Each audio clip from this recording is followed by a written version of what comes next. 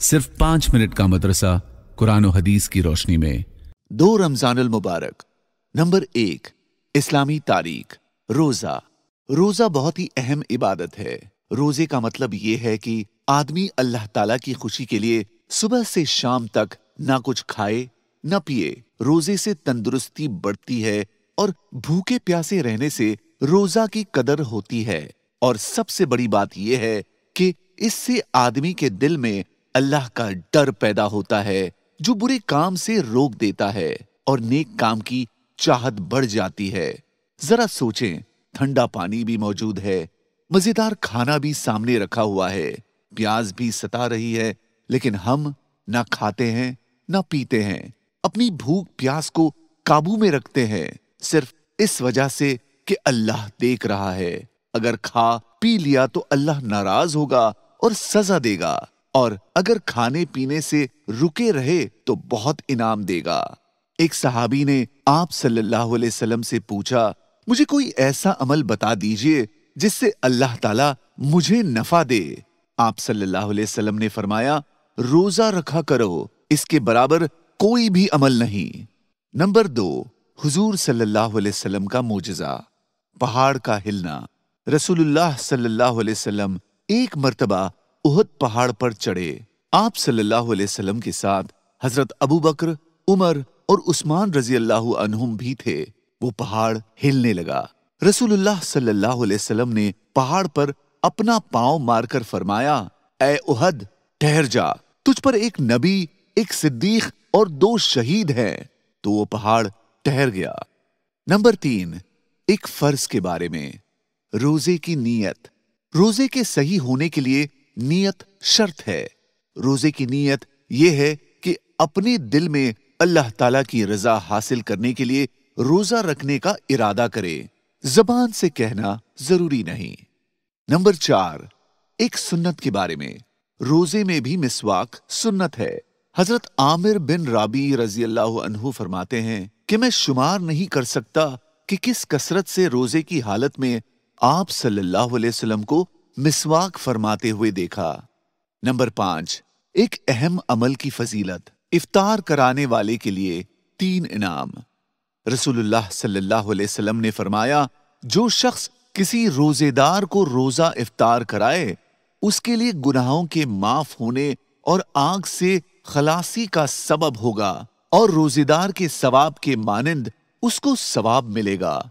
मगर रोजेदार के सवाब में से कुछ कम नहीं किया जाएगा।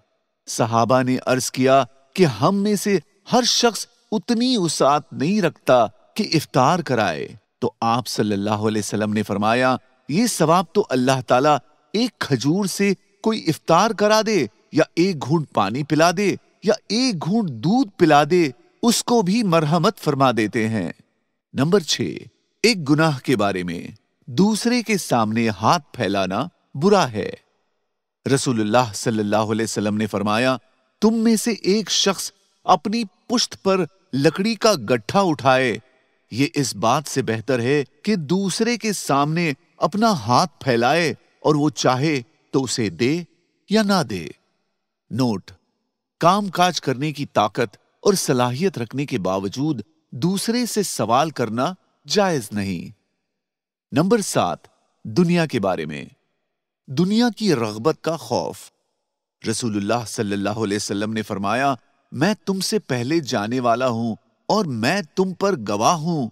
तुमसे मिलने की जगह हौज होगी और अब मैं यहाँ खड़े होकर उसे देख रहा हूँ।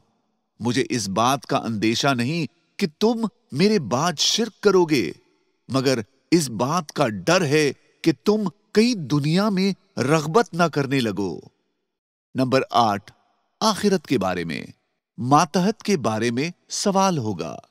रसूलुल्लाह सल्लल्लाहु अलैहि वसल्लम ने फरमाया, तुम में का हर फर्द निगरा है और उसके मातहतों के मुतालिक उससे सवाल होगा। चनाचे इमाम निगरा है और उससे उसकी रायत के बारे में सवाल होगा।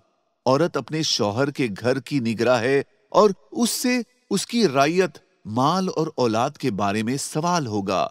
खादिम अपने आका के माल का निगरा है और उससे उसके बारे में सवाल होगा।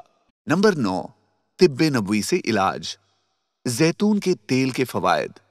रसूलुल्लाह सल्लल्लाहु अलैहि वसल्लम ने फरमाया, जैतून के तेल को बतौर सालन के इस्तेमाल करो और उसका तेल लगाओ। इसलिए कि ये एक बाबरकत दरख्त से हासिल होता है। नोट, जैतून का तेल इस्तेमाल करने से पेट के कीड़े खत्म हो जाते हैं। दस्त लूज मोशन लाता है। जो लोग पाबंदी से इसका तेल बालों में लगाते हैं, ना तो उनके बाल गिरते हैं और ना ही जल्द सफ़ेद होते हैं। इसकी मालिश से दाद और भूसी खत्म हो जाती है। कान में पानी पड़ा हो तो इसके डालने से वो निकल जाता है। नंबर दस, नबी सल्लल्लाहु अलैहि वसल्लम की नसीहत। रोज़े के ज़रिए हिफाजत करो। रसूलुल्लाह सल्लल्लाहु अलैहि वसल्लम ने फरमाया रोजा जहन्नम से हिफाजत का ज़रिया है। जजाकल्लाह।